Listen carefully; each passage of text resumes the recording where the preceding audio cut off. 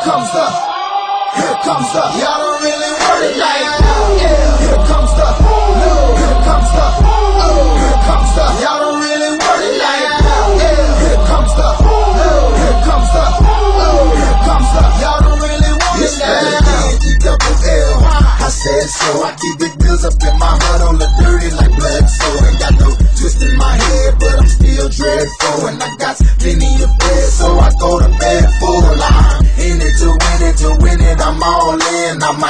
you my cuz, young blood, but we ain't kin. Nah, you think of jumping, man, you best think again. The dirty, I'm the type of man that might go broke from revenge. Had some not so nice friends, kick the door off the hinge, take the door off your bins, pop up my phone and your friends, man, please. This is ain't cynical, man, on subliminal, I'm physical, financial, and mental to be a general. Hey, the mama claims she want a soldier, not the type be in the tank, but in that rover.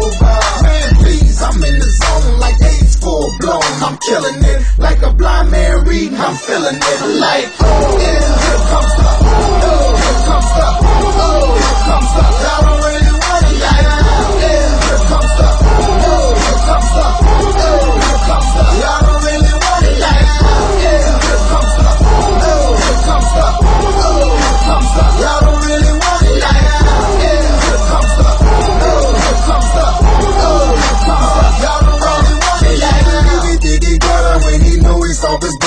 ain't never been a fighter. You can go and ask his mother. I'm a lover and a fighter, a fighter, producer and a writer. Give your girl a quick fix and give your man a nice shiner. You know y'all don't really want it, and I can tell just by looking at you that you the type to run and go and tell just by looking at you.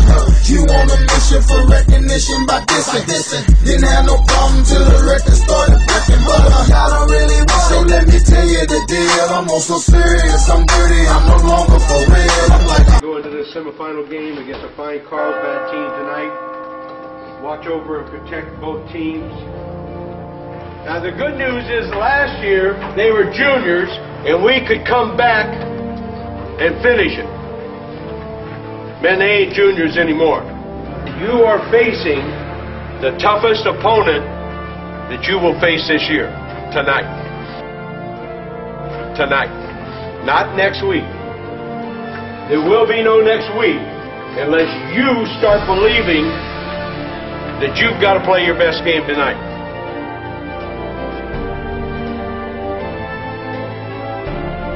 I hope you're not content in being in the semifinals. I hope there is a burning desire in each and every one of you for that special experience that only takes place at Jack Murphy Stadium. Now, you guys may think that we always go there because we've been there two years in a row. It ain't like that.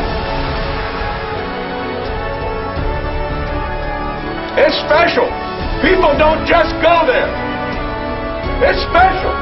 And you've got to have a fire in your belly that tells you, I want to be there in the worst way. You can't be quiet. You can't be unemotional. This is an emotional game.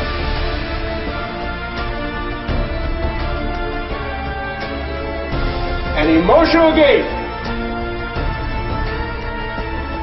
And we got to have it from the heart. We got to play with heart tonight, guys. Now, you guys all understand what last play means? Last play.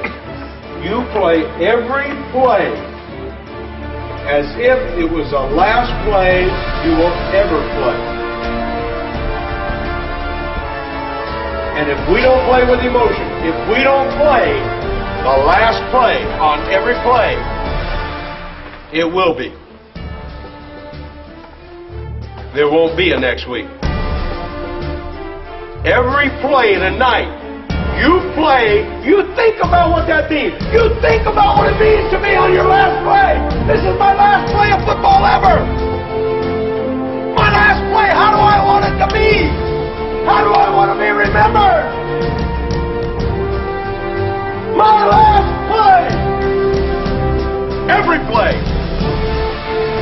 Last play on three. One, two, three. Last play! Last play! Last play!